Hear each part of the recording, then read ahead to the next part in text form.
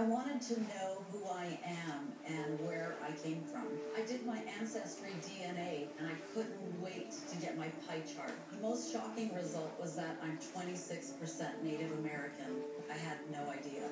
Just to know this is what I'm made of, this is where my ancestors came from, and I absolutely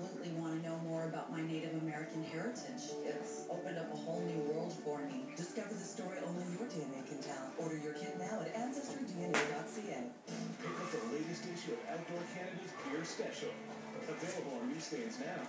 Or go to outdoorcanada.ca and subscribe for a free gift.